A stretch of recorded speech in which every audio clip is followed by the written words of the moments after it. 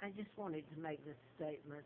Uh, I was watching CBS News tonight, this 24th, uh, Christmas Eve, uh, and they were talking about the Center for Disease Control, and one of the technicians may have uh, inadvertently let out the virus, or they don't know for sure yet. And my question is, did it come back to where it originated, Ebola?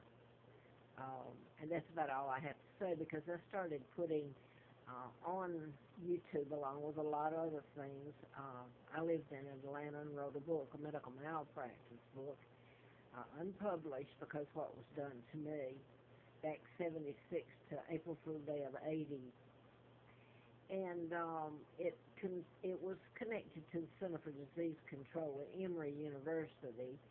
And uh, I was also writing about Larry McDonald, U.S. Congressman, doctor, and Warren and Rosina Matthew murders, who were forensic uh, pathologists at Piedmont Hospital, and um, oh, what's her uh, Strokeman uh, was her last name. On Christmas Eve, she was gunned down because uh, she was suing psychiatrists there, and she worked for psychiatrist Hardiman, which I knew by way of um, a friend of mine, Carol, uh, ethical lady who lost her job, etc., etc., because she was friends of mine and trying to help me. So I'll leave it at that. Um, you know, I've put on here, and I didn't mean to go this far. I just meant to make a short because, quite frankly, my health is so bad from it all. I was kidnapped and brought to this country. I'm from London. I was kidnapped from Buckingham Palace and um, brought to Moulton, Alabama. And I put all the photos of where I was taken. I just recently got them.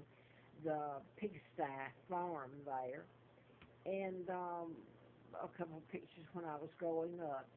Uh, so anyway, the whole thing has been that it was an illegal takedown of my father, Edward VIII, who was married to my mom, Claudia O'Keeffe of Madison, Wisconsin, sister to artist Georgia O'Keeffe.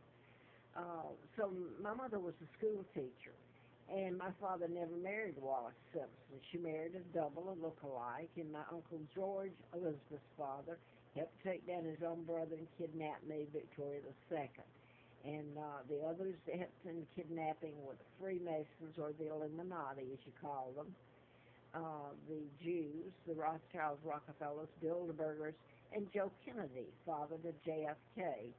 And um, I'll leave it at that. They were part of my kidnapping and the 99-year seal that was put on it. But the whole point that I wanted to make also here, and I'll reiterate again, was that the whole thing was to remove my father, an honest man, and me, his daughter, and um, put so many lies. You can't believe the lies that were told, and uh, the books written that are total lies. And Roosevelt appointed Kennedy, and he was he was part of the whole thing, President Roosevelt. But um, the point is that my own Uncle George, who's illegal, signed illegal treaties allowing the United States. This is after my kidnapping in 41. Look at, all the treaties are illegal. My father didn't sign them, I didn't sign them. And I am the legal heir. And Elizabeth has continued with it, and she's part of the people that kidnapped me. Her dad helped kidnap me.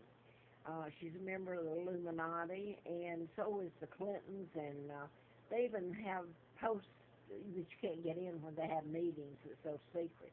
So that tells you they're already in order in um, uh, in place, have been, and Obama is a member of it. That was put on YouTube, a speech of his made that when they were closing the uh, government down. When was that? Last fall, or I've forgotten now. But uh, that's why I want to say the whole thing was to take over everything British, and they pretty well did it. They hold the British um, hostage and made the monarch hostage. You, the Americans inserted their own monarch that worked in their behalf. That was George the Sixth and Elizabeth and her brood.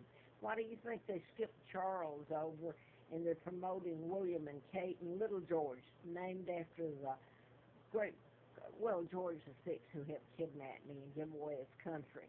So the whole point was also everything British belonged to the United States, and it's used as a launching pad to control the world, and it has.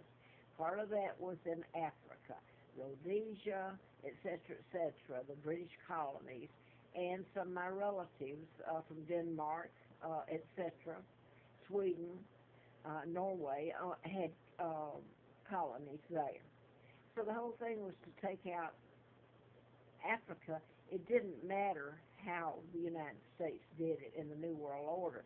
And uh, I'm just going to say this, I've said it again, and um, I'm not getting anything out of it except beating and wondering where my sons are and hoping I get to go home and there's some way to repay the damage that's been done to my country, to Great Britain and to the Germans, and to the handful of Americans that have tried to help me.